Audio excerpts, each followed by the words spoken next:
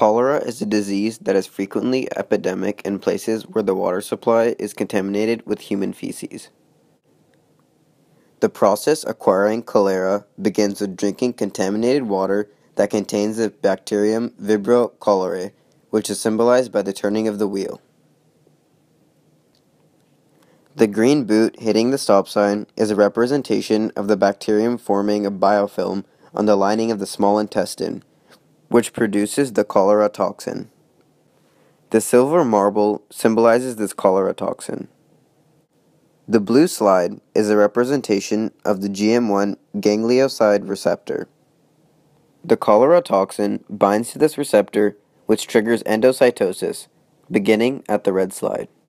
The A1 domain undergoes cleavage from the A2 domain, which is represented by the marble going down the red slide and hitting the blue stick. A1 is now an active enzyme which is represented by the new silver marble. The cytosol is symbolized by the red bath. The remaining A1 fragment enters the cytosol and activates the G protein, which is represented by the marble going through the hole of the bath.